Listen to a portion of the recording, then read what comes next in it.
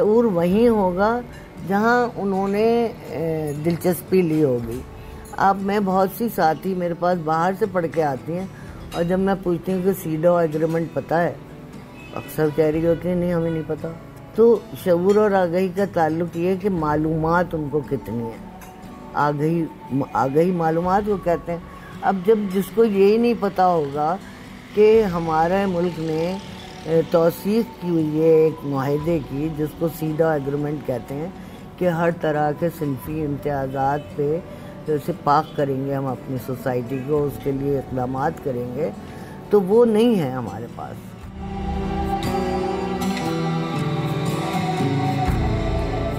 देखिए, औरतों को माशरे में फ़ाल किरदार अदा करने के लिए हमने इदारे तो बनाए हुए हैं। उनमें उनको लाना होगा। इनकी तरबियत करना होगी। वो सरकार की सतह पे भी और गैर सरकारी सतह पे भी हमको मिल के तय करना होगा। देखें, अब वसाइल का जो बेजा इस्तेमाल क्या होता है, एक ही एक ही इशू पे दस इदारे अलग अलग काम कर रहे होते हैं। पैसे अलग अलग खर्च हो रहे होते हैं। अगर वो पैसे मिल के पूल मनी करके हम तरतीब से प्लानिंग के साथ काम करें तो हमारी औरत बहुत अच्छा रोल प्ले कर सकती है इस सोसाइटी में हर लेवल पे।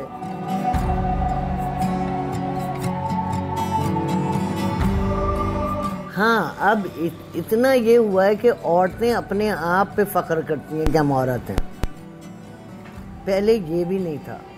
पहले मेरे साथ ही एक्टिविस्ट खवातीन कहती थी अक्सर सुनती थी मैं ये बात मैं क्यों औरत पैदा हुई? मैं लड़की क्यों पैदा हुई?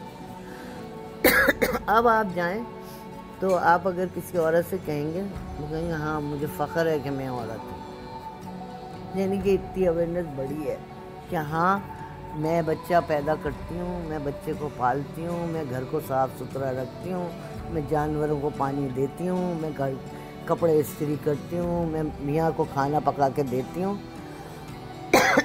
तो वो अपने ऊपर फ़ख्र करती है कि मैं एट ए टाइम पूरे दिन में इतना काम करती हूँ। लेकिन हमारा माशरा देखें माशरे तो जब ही बेहतर होंगे जब उनको ये जानकारी होगी कि ये इंसान है औरत।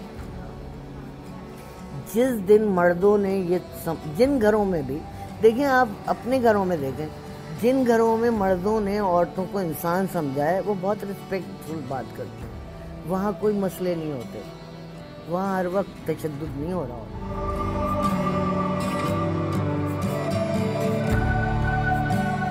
जब औरतें इकट्ठी होंगी, जब औरतों की ये तकसीम ख़त्म होगी कि मैं सिंधी बोलती हूँ, वो उर्दू बोलती है, वो पंजाबी बोलती है, वो अमीर है, मैं गरीब हूँ, मैं गाँव में रहती हूँ, वो शहर में रहती है, हम इस पे काम कर रहे हैं कि ये डिवीज़न, ये तफरीक जिस दिन ख़त्म हो गई, कोई औरत अगर मेरे सामने कहती है ना, किसी औरत को बुरा, मैं सुनती ही नहीं, मैं कहती हूँ, आप क्या कह रही हैं?